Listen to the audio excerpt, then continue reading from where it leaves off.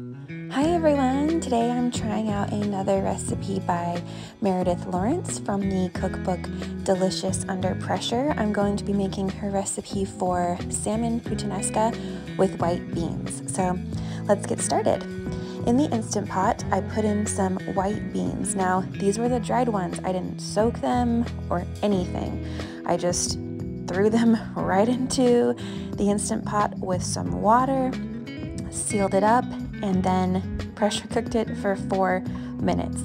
This wasn't the full time, um, this was just a pre cook, but still, four minutes. That's so fast. So I drained them off and I reserved some of the cooking liquid. And then I added in some anchovies. Now, don't be afraid of anchovies, I'm telling you. They're so good, they disintegrate into the dish. They are very salty, so you don't need to add salt to your dish, but they're really good. Don't be afraid of them. Try them if you haven't. Um, so I take out my anchovies here and I'm going to cut them up. And again, to the Instant Pot, I'm going to put in a little bit of oil and the chopped up anchovies and some garlic. We're going to saute that a little bit.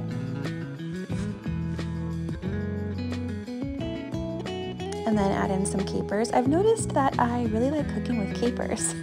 some black olives, and then a couple of cans of diced tomatoes.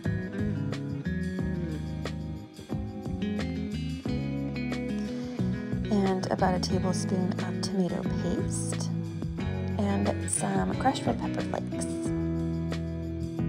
Then we add back in the reserved cooking liquid from the beans.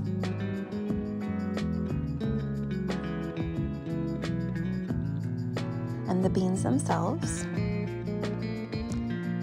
And then season it with a little black pepper.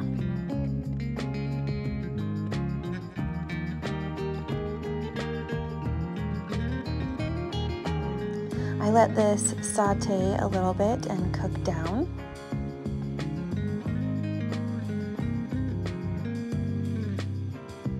And then I added my salmon right on top of everything.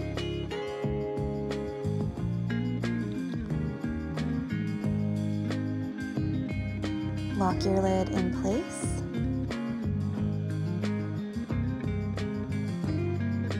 And then this cooks for just another four minutes. Super fast.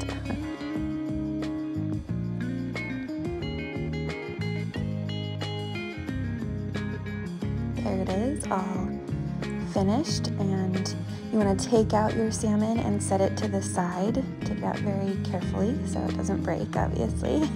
and then I turned the saute mode back on and someone got a hold of the utensils. Who knows? who knows who that might be? All right, so after that had simmered down a little bit, I just added the bean mixture, the bean stew really, to a bowl and then you top it with your salmon. I also air fried some asparagus to go on the side. This was really good and packed with flavor. The anchovies and the capers and the olives, it was really flavorful, really bold flavors. I liked the salmon. I do like the salmon in the sous vide a little bit better, but this was very convenient and super quick, and the salmon still was done to a good, um, good amount of doneness. It wasn't overcooked at all. I really liked it. I liked how the flavors all worked together, and it was extremely fast and convenient. Thank you so much for watching. Talk to you later.